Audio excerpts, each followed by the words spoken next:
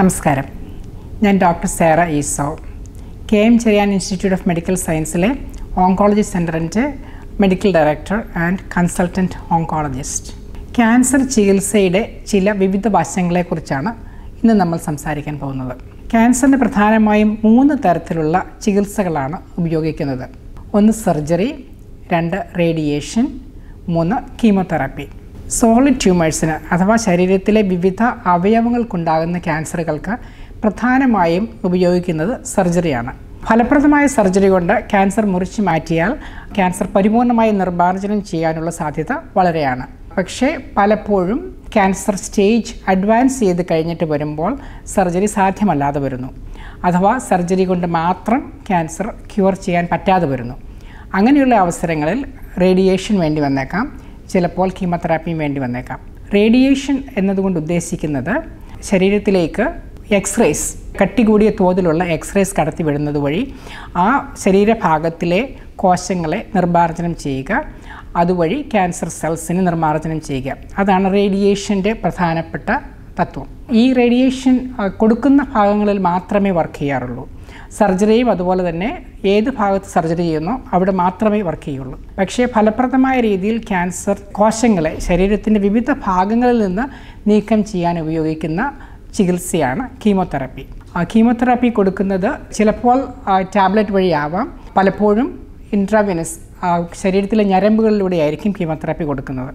Chemotherapy മരുന്നുകൾ ശരീരത്തിന്റെ വിവിധ ഭാഗങ്ങളിലുള്ള ക്യാൻസർ കോശങ്ങളെ നിർമ്മാർജനം ചെയ്യുന്നത് വഴി ക്യാൻസർ മറ്റ് അവയവങ്ങളിലേക്ക് പടരുന്നത് തടയുവാനും കഴിയും. ഈ മൂന്ന് ചികിത്സാ രീതികളും ഒരുപക്ഷെ ഒരു വ്യക്തിയിൽ വേണ്ടി വന്നേക്കാം. എന്നാൽ ചിലർക്ക് സർജറി മാത്രം മതിയാവും. ഏത് ചികിത്സയാണ് ഉപയോഗിക്കുന്നത് എന്നത് ഏത് ടൈപ്പ് ക്യാൻസറാണ് ഒരു വ്യക്തിക്കുള്ളത് ഏത് സ്റ്റേജ് ക്യാൻസറാണുള്ളത് എന്നതിനെയൊക്കെ ആസ്പദമാക്കിയിരിക്കും. ഒരിക്കലും ഒരു വ്യക്തിക്ക് കൊടുക്കുന്ന അതേ ചികിത്സ തന്നെ ആയിരിക്കില്ല മറ്റൊരാൾക്ക് ലഭിക്കുന്നത്. പലപ്പോഴും കേൾക്കുന്ന ഒരു ചോദ്യമാണ് എന്റെ സുഹൃത്തിന് അല്ലെങ്കിൽ എന്റെ ബന്ധുവിന് സർജറി മാത്രമേ ചെയ്തുള്ളൂ എന്തുകൊണ്ട് എനിക്ക് കീമോതെറാപ്പി തരുന്നു അല്ലെങ്കിൽ എന്തുകൊണ്ട് എനിക്ക് റേഡിയേഷൻ വേണ്ടി വരുന്നു? ഇതിനുള്ള ഉത്തരം രണ്ട് രോഗികൾക്കുള്ള ക്യാൻസർ ഒരിക്കലും ഒരുപോലെ ആവണമെന്നില്ല. ഒരേ സ്റ്റേജ് ആണെങ്കിൽ പോലും ചിലപ്പോൾ ക്യാൻസർ കോശങ്ങളുടെ വ്യതിയാനം വ്യക്തികളിൽ പലതായിരിക്കാം. അതുകൊണ്ട് ഓരോ വ്യക്തിക്കും അനുയോജ്യമായ ക്യാൻസർ ചികിത്സയാണ് നമ്മൾ സാധാരണ നൽകാറുള്ളത്. ഒരാൾക്ക് റേഡിയേഷൻ വേണ്ടി വന്നേക്കാം മറ്റൊരാൾക്ക് ചിലപ്പോൾ ആ സ്റ്റേജ് അനുസരിച്ച് റേഡിയേഷന്റെ ആവശ്യമില്ലായിരിക്കാം. അതുപോലെ തന്നെ കീമോതെറാപ്പിയും ചിലപ്പോൾ വേണ്ടി വന്നേക്കാം. ചിലർക്ക് മറ്റു ചിലർക്ക് അതിന്റെ ആവശ്യം ഉണ്ടായി എന്ന് വരില്ല. ഓരോ വ്യക്തിക്കും അനുയോജ്യമായ ചികിത്സയാണ് നമ്മൾ സാധാരണ നൽകാറുള്ളത്. മറ്റൊരു ചോദ്യം സാധാരണ ഉയർന്നു വരാറുള്ളത്. ഡോക്ടർ പറഞ്ഞു എല്ലാ ട്യൂമറും എടുത്തു കളഞ്ഞു. പിന്നെ എന്തുകൊണ്ട് എനിക്ക് കീമോതെറാപ്പി വേണ്ടി വരും?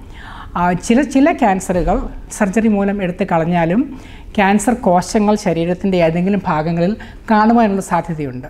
ഈ കോശങ്ങൾ മാസങ്ങൾക്കോ വർഷങ്ങൾക്കോ ശേഷം മറ്റ് അവയവങ്ങളിലേക്ക് പടർന്നു പിടിക്കും. അതിന് നമ്മൾ മെറ്റാസിസിസ് എന്ന് പറയും. ഈ ക്യാൻസർ കോശങ്ങളെ സർജറിക്ക് ശേഷം ഉടനെ തന്നെ ഇല്ലാതാക്കിയാൽ ഈ മെറ്റാസിസിനുള്ള സാധ്യത കുറയ്ക്കാം.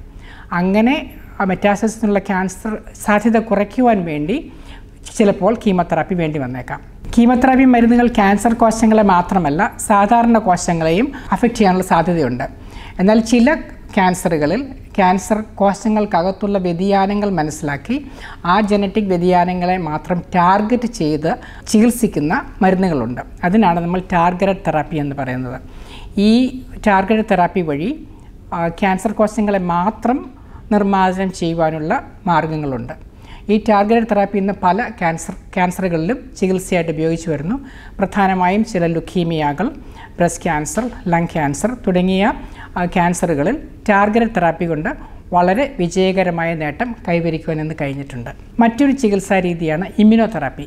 നമ്മുടെ ശരീരത്തിലുള്ള പ്രതിരോധ ശേഷി വർദ്ധിപ്പിക്കുന്ന കോശങ്ങളെ സ്റ്റിമുലേറ്റ് ചെയ്തിട്ട് അവയെ ഉത്തേജനം ചെയ്തിട്ട് അവ ക്യാൻസർ സെല്ലുകളെ നിർമ്മാർജനം ചെയ്യുന്ന രീതിയാണ് ഇമ്മ്യൂണോതെറാപ്പി എന്ന് പറയുന്നത്. ഇമ്മ്യൂണോതെറാപ്പി വഴി ഇന്ന് പല ക്യാൻസറുകൾക്കും വളരെ ഫലപ്രദമായ റിസൾട്ട് കാണുവാൻ കഴിഞ്ഞിട്ടുണ്ട്. എല്ലാ ക്യാൻസറുകളിലും ഇമ്മ്യൂണോതെറാപ്പി ഉപയോഗിക്കാറില്ല. ചില പ്രത്യേകതരം ക്യാൻസറുകൾ മാത്രമേ ഉപയോഗിക്കാറുള്ളൂ. പക്ഷേ വളരെയധികം റിസർച്ച് ഈ മേഖലയിൽ ഇന്ന് നടന്നു വരുന്നുണ്ട്. അതുകൊണ്ട് ഒരു വ്യക്തിക്ക് കിട്ടുന്ന ക്യാൻസർ ചികിത്സയായിരിക്കില്ല മറ്റൊരാൾക്ക് കിട്ടുന്നത്. കാരണം ഈ പ്രധാനപ്പെട്ട ഘടകങ്ങളാണ്. ക്യാൻസർ ചികിത്സ ഓരോ വ്യക്തിക്കും വ്യത്യസ്തമാണ്. കാരണം രണ്ട് ക്യാൻസറുകൾ ഒരുപോലെ ആയിരിക്കണമെന്നില്ല. ഓരോ വ്യക്തിക്കും അനുയോജ്യമായ തരത്തിൽ ടെയിലേഡ് ആയിട്ടുള്ള ഒരു പേഴ്സണലൈസ്ഡ് ട്രീറ്റ്മെന്റാണ് നമ്മൾ ഇന്ന് ക്യാൻസറിന് ചെയ്തു വരുന്നത്.